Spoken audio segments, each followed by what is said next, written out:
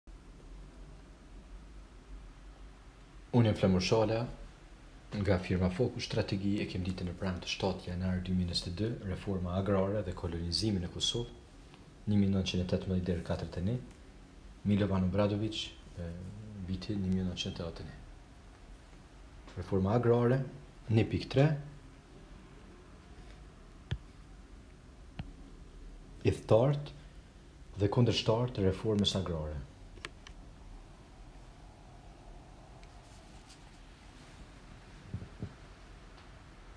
Me miratimin e dispozitave paraprake u bë vetëm hapi i parë vendimtar në zgjidhjen e problemit agrar në shtetin e ri, i diktuar nga presioni i masave fshatare, të cilat kishin bartur barrën më të madhe të shkretërimeve të luftës.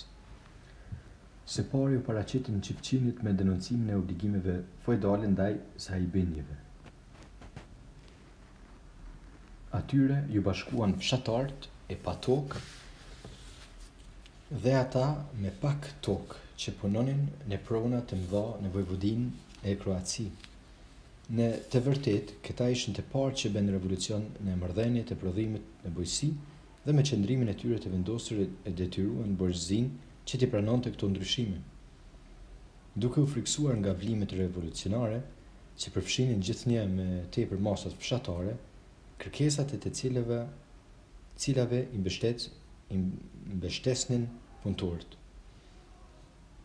Borgjezia u detyrua të bënte kompromise vetëm që të ruante vendin e rrezikuar shoqëror. Nuk guxonte të paraqitej haptazi kundër kërkesave të arsyeshme të fshatarëve. Por përpiqej që t'i qetësonte me premtime se kjo çështje do të zgjidhej në mënyrë të rregullt. Në këtë pikëpamje, regjenti Aleksandër Aleksandar dhe dha një premtim solemn, E së shpejti u miratuan dispozitat paraprake.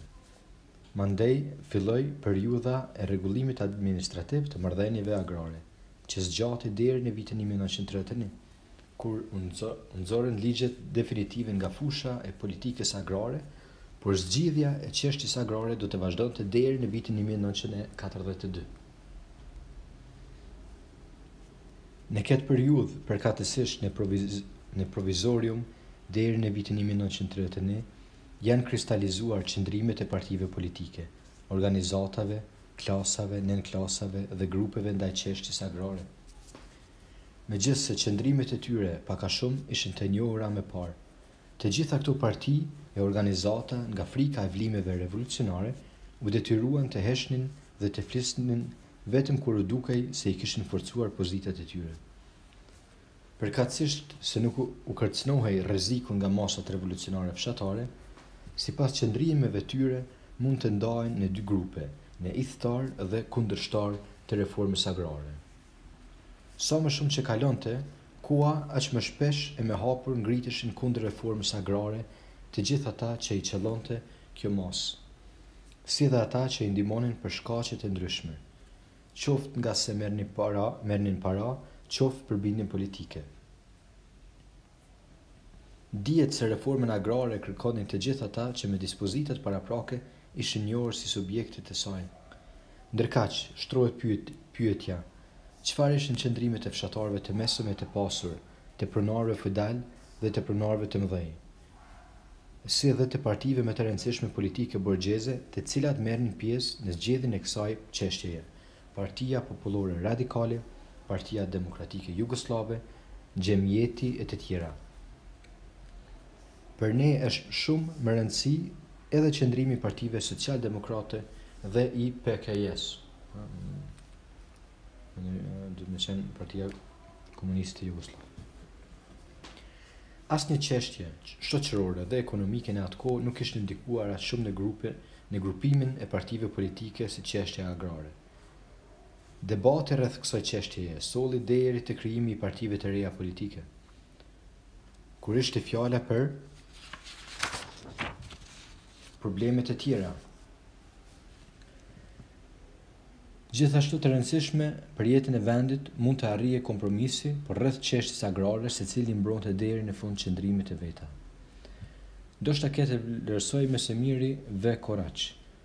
Nuk është e vërtetë, si zakonisht bëhen përpjekje të paraqitet, se përçarja në dy gjysma përafërsisht të njëjta në përfaqësinë popullore është shkaktuar nga çështja e rregullimit centralist dhe federalist të shtetit, Ne shohim se janë bashkë federalistët dhe centralistët për shembull në bllokun reaksionar, në të ashtuquajturën bashkësi parlamentare. Por edhe në të njëjtin grup parlamentar nuk rrinë bashkë ithtarë dhe kundërshtarë të reformës agrare.